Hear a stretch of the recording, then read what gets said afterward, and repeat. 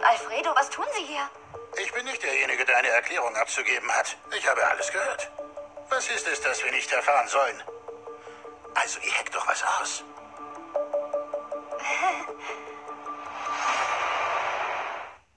Und? Mut auf!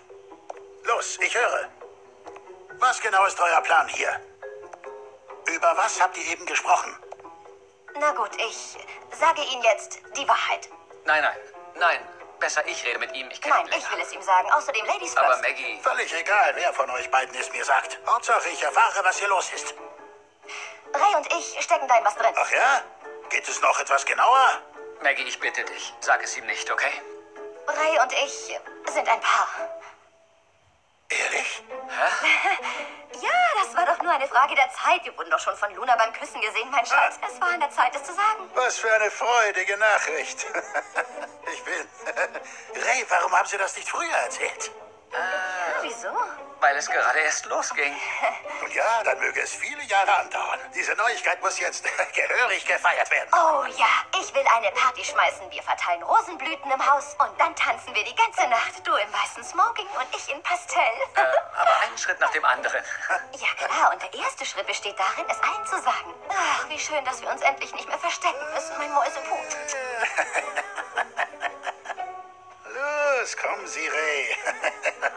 Lebe die Liebe. hm? Wie wahr?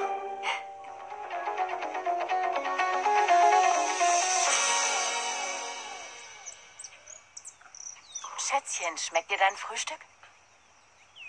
Ja. Wieso sollte es ihr nicht schmecken? Immerhin haben wir halb Mexiko hier auf dem Tisch. Also tief einatmen und genieß die Meeresbrise. Du wieder, Miguel. Schmeckt's dir doch nicht, Luna? Ich hab's. Wieso machen wir nicht einen Ausflug, wenn du von der Schule zurückkommst? Nur wir drei. Du sagst wohin. Das wäre doch großartig. Guten Morgen, guten Morgen. Morgen. Und, wie geht's? Ein herrlicher Tag heute, nicht wahr? Die Sonne tut gut.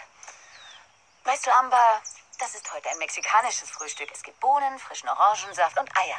Äh, ja, aber wenn ich ehrlich bin, hätte ich lieber einen Schokoladenshake mit Sahne drauf. Oder besser noch Erdbeeren mit Sahne. Kann mir das jemand bringen? Nein, Amber, tut mir leid. Es gibt nur das, was hier auf dem Tisch steht. Gut, gar kein Problem. Dann begnüge ich mich damit. Na bitte.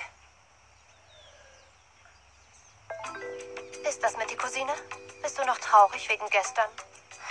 Hör mal, das zieht dich jetzt vielleicht runter. Und in deiner Situation würde ich es auch hassen, wenn ich das zu hören bekomme. Aber ich hab's dir gesagt. Ich hatte ihr gesagt, dass Matteo nicht der Richtige für sie ist. Aber ich habe keine Lust darüber zu reden, ja? Natürlich, wir müssen nicht darüber reden. Hör mir einfach bloß zu. Ich will dir aber auch nicht zuhören, keine Lust.